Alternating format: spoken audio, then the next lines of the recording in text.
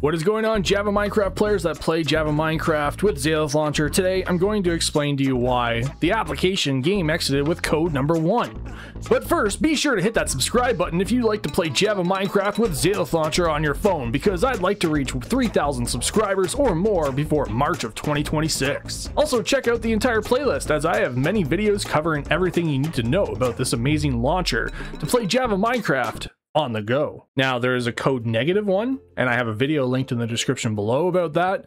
And there's also a code six that sometimes happens. I also have a video coming for that as well. Now the one error is very popular. A lot of people say, I have code one and it's not working. Well, A, you probably did something wrong. B, you probably did something wrong. And C, I'm going to show you how to fix this potentially. And I say potentially because sometimes there actually isn't a fix for the code one because of Reason A. Reason A means that the mod might not be compatible with Zalith Launcher on your mobile device. There is some mods that are not compatible at all for Zalith Launcher, and I have a list of those on my Discord, and they just don't work, okay?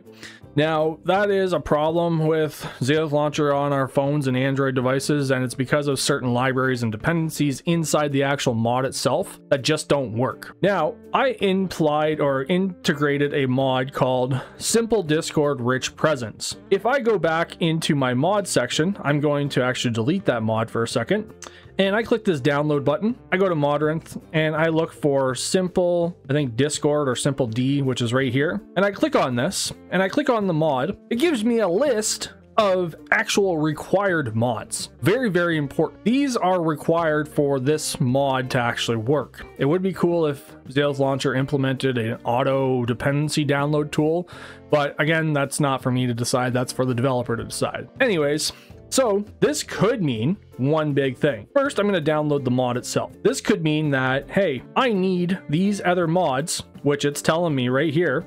So go back, go back, go back. And I've showed you this in my video about fabric mods, that you need all these other dependencies to actually get this to work. Now, I also have the fabric API already, so it shouldn't tell me to re-download it, but if it re-downloads, that's fine. And I think that's because the fabric API, when you download fabric, is a different name as you can see here, let's see, Fabric API. Yeah, I have another Fabric API and it's the same version anyways. So I'm just going to delete that one so that doesn't have duplicates. I'm going to click on home and I'm going to click launch game.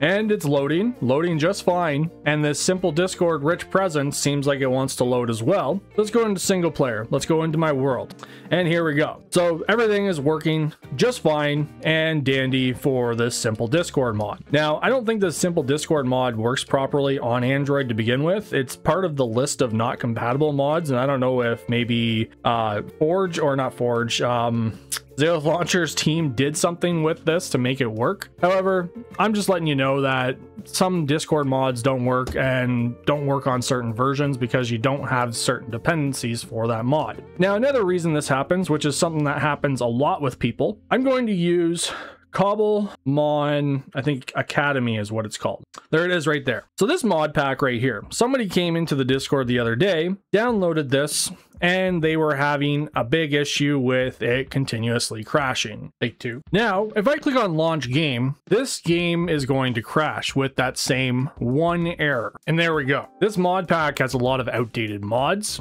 It has mods that aren't compatible, and there is just too much work to even bother trying to get this mod pack to work unless you have a PC. But if you have a PC, just play this mod pack on your PC. I know you want to play it on the go, but this mod pack is very heavy, it's very big, it took forever to download, and it probably won't play on most of your devices. People said that they were getting like 5 FPS and I don't haven't tried it on my Red Magic, but I tried it after I updated it and converted everything and removed a bunch of stuff, which kind of defeats the purpose of a mod pack. Now, those are the major reasons why the one error pops up. And also another reason is because you didn't pay attention to the video about how to set up your device properly. So like, let's go to 1.2111 and let's call it test. And where is that test one? Let's refresh this right there. And in my very first video, I specifically said, hey, you need to use a specific renderer for this to work, which takes not even a minute to set up, by the way. Not hard to do. Takes a few seconds. Zalith Launcher lets you set up certain renderers, and you'll end up getting that negative one error, but that's another video all on its own. So that's why that one happens. Some people get those two confused. If you get a negative one error, check out the video link below. If you get a one error, check out the video link below. Well, this one.